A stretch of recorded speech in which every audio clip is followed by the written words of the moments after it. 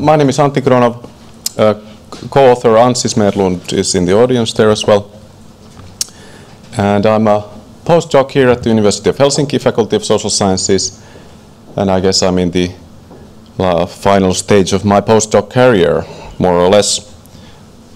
And by way of introduction, I'm going to advertise something that is actually not related with the, this presentation at all. Because this is sort of the stuff that I mostly do nowadays is, is a project called COMPON, Comparing Climate Change Policy Networks, where the idea is to look at the uh, relationship between political institutions, policy networks, and the actual policies being produced. In this case, they are related with climate change. Of course, this is a very hot topic, literally speaking, and we've, we've gathered uh, policy network surveys in several countries, in 14 all in all, I think, Finland, Sweden, US, India, Germany, Japan included. And this is actually a pretty unique data set. And I was just able to get additional funding, which means that we'll do a second round of surveys in a few countries, at least four. And we've also gathered some media data, which we analyzed with network techniques to some extent as well, with a method called discourse network analysis, or DNA, where agreement constitutes a link between policy actors, in, which is pro, uh, in the media.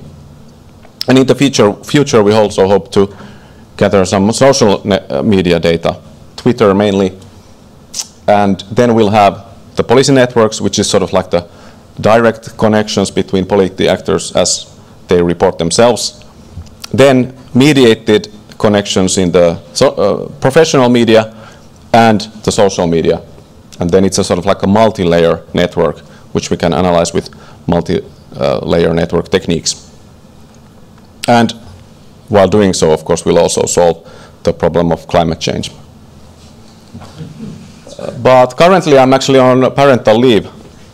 There's a proud, perhaps somewhat confused older brother with a, with a baby boy who was born last Tuesday. So he's six days old today. And this is, of course, a very happy occasion. I'm not jet lagged, but I might certainly feel like I was. and the other downside is that I can't join, join you for dinner tonight, or and, and, tomorrow I'll have to skip the whole day. But thanks for having me here anyway, and it's of course a uh, honor to speak in the same session as, as the esteemed Randall Collins. Congratulations. thanks. But now that I have your full sympathies, I've shown you the baby picture, I can go on to the actual presentation. And we already touched upon the topic of networks several times today, and Ron Burt was mentioned also. Ugo just dropped an egg. and he's, of course, known for this theory of structural holes, where he thinks that uh, when brokers connect between structural holes, otherwise disconnected parts of the network. This is supposed to be a good thing for all sorts of innovative activities, creativity in a sense. Basically for the reason that the, the brokers receive non-redundant information. If, if you're in the tight clique, everybody sort of, the so, same sort of information is supposed to circulate in the network, and that's a bad thing. At least it's supposed to be. The, a somewhat competing view says that this may be true, but dense cliques of groups of people also produce good things. You need density for increasing trust, making coordination of action possible, and so forth. Well, can you have your cake and eat it too? This is in a way what David Stark has uh, said recently or tr tried to argue. He thinks that, okay, structural holes, people filling, filling these structural holes may certainly receive new information. But uh, this is not really what uh, innovativeness is about. It's more about recombination, actually, just as we heard. And you can actually recombine old stuff only when you're part of cliques that fold into each other. This is what he argues. So this is a kind of like a combinatory theory of the benefits of density and social structures. And he also, also thinks it sort of logically follows that innovativeness actually is a property of groups, not of individuals, because it's a property of these cliques or uh, network structures that fold into each other. What this means in, in practice is highlighted in this figure. On your left, you'll find a structural fold, and on your right, there's a structural hole, or there's a node which brokers the connections. So on the right side, the node is not connected, or it's connected with both sides of the network, but it's uh, by just one link. So it's not actually a, like a clique member. Whereas on the left side, the node, which, you, which is marked with red, is uh, means that the cliques and clique in this case is a network where everybody is connected with each other. So that, that node who, who connects, if it's a person, connects those two cliques is, is also connected with everybody else in the, in the networks. So it's a member of, of both cliques. And thus the networks fold into each other. Well, why would that be beneficial for innovativeness? Well, Stark thinks that such groups that have these folds, they have a tendency, tendency to have or hold different things valuable. They value different sorts of things. And here is where he relies on this semi-famous book by Luc Boltanski and Laurent Thévenot on justification, which was originally published in French already, already in the 90s, 1990s, uh, but uh, has only gained momentum in the English world, English, English-speaking world in the in recent years, I think, or recent decade or so. And Boltanski and Thévenot think that when there's disagreement about what is valuable, people tend to rely on maybe six or seven types of justifications. And they draw on like the history of philosophy and blah, blah, blah. Although it's a bit uh, uncertain whether these are really universal ways of justifying things or of, of holding things valuable. But that's what they think anyway. And they say that you have to have a, some sort of a basic agreement about what is valuable for, for example, for economic exchange to take place. And here is where Stark agrees, because he says that no, actually, divergence, so you have different values, divergence of values or valuations can be a good thing, because it can generate new ideas. This means that there's uncertainty. And this is supposed to happen when these groups fold into each other, that they, they tend to hold the same thing valuable in, in each clique, but when they, in a sense, collide by folding it into each other, then they're supposed to generate new ideas. Stark and people close to his group, they, I think they've shown so far by ethnographic data that indeed you can find divergence of valuations in, in different work organizations. For example, I think in the post-Soviet Hungary, he had a nice research done there. Some people have also done formal social network analysis where they show that groups with structural holds may be more innovative, innovative than others. But nobody has really actually shown that these three things would go together. Divergence of valuation, structural folds, and innovativeness. And this is in a sense what we set out to test. But there's an additional theoretical twist because we think that it's not necessarily the case that they would go all together. Or they, in a way, do, but not in the way that Stark maybe thinks. And we present what, something that we call the compensatory mechanism between divergence of valuation and structural folding. And our idea is that folding of groups into each other may be beneficial for innovativeness, but it could be that it's actually compensating for the lack of uh, levels of high levels of divergence. So if there's a lot of groups with, that fold into each other, but still, in a way, value the same sort of stuff, then the folds are beneficial, and vice versa. So if there's a, there are groups that that that are uh, this is confusing. no, but the the uh, if you have high levels of divergence, then it could be actually that folding is not beneficial anymore. So if they go together, that's not necessarily a good thing for innovativeness. But if you have the other and, and not the other, then that's a good idea. Maybe uh, this is an Uh, um, idea that we have that it could be that it's simply too disruptive for the groups. If they're just a lot of this folding takes place and then at the same time valuations collide. It might be too difficult to get anything done innovatively. And we also test for this simple idea of, of structural folding while testing for our additional theoretical twist, which means that we test whether folds increase divergence of valuation in groups and whether divergence of valuation increases innovativeness. The data is from a professional service firm in Finland. So this is a, just one single firm. Of course, this is an obvious limitation of the study.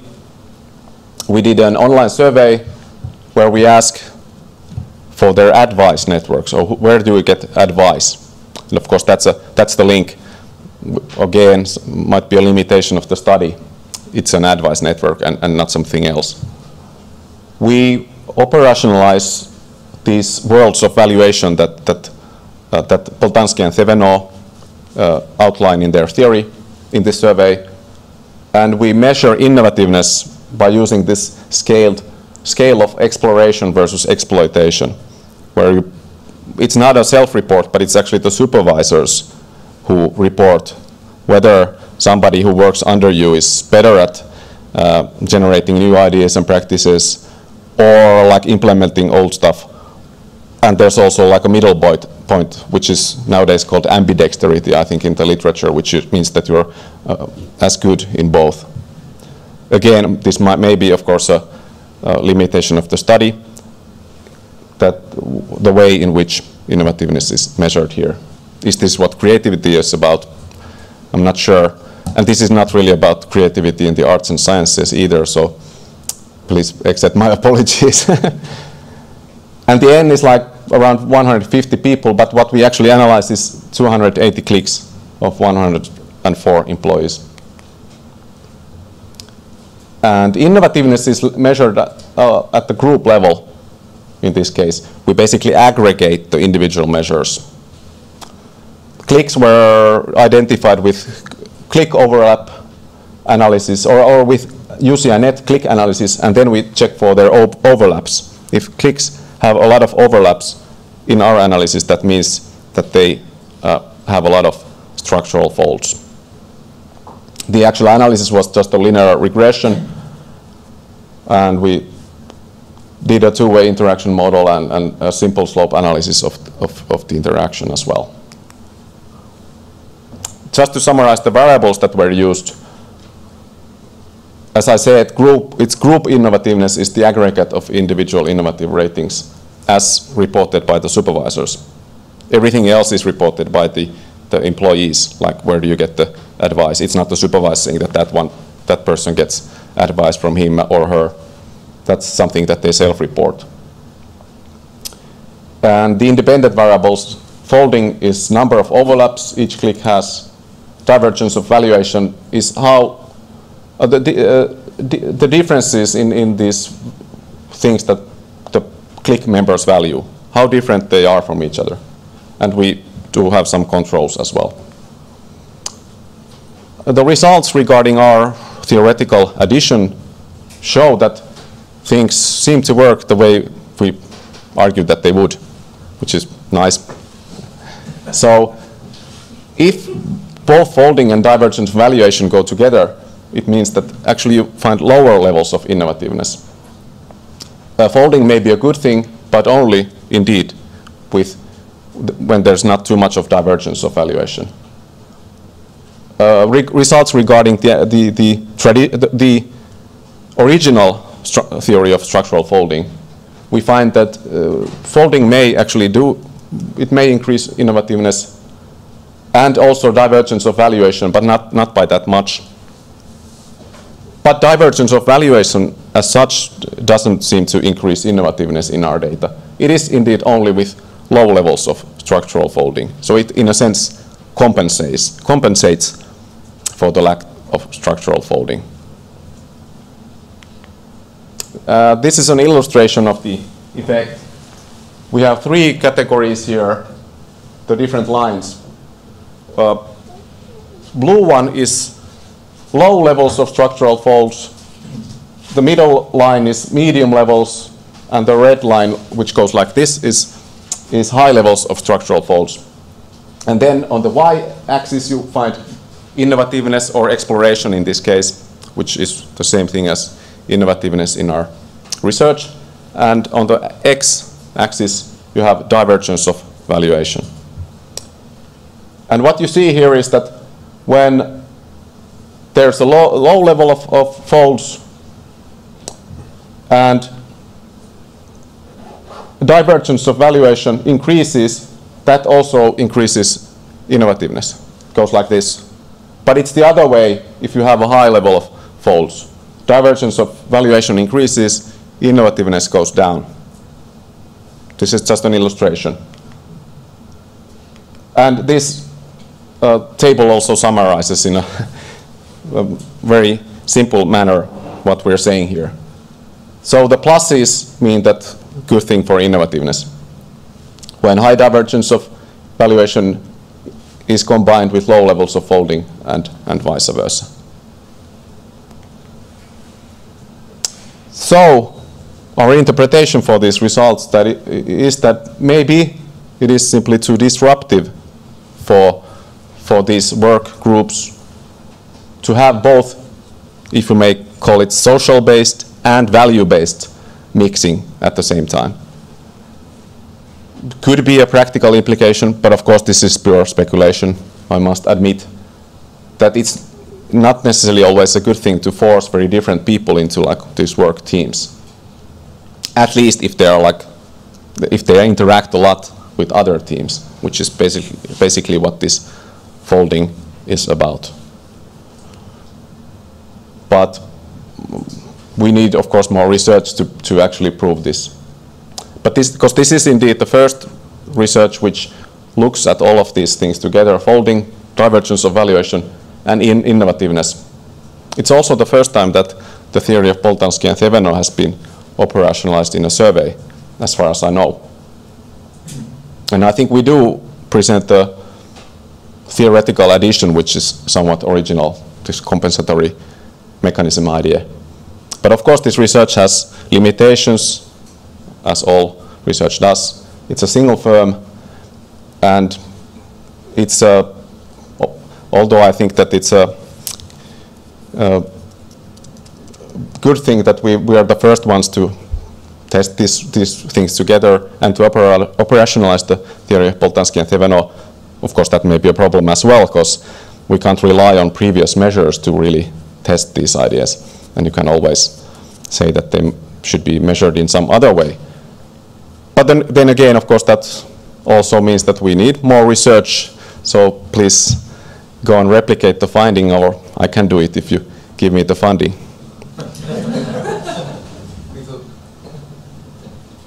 and uh, to end, I thank you and show you yet again another baby picture, so you'll be sympathetic in your comments. Thank you.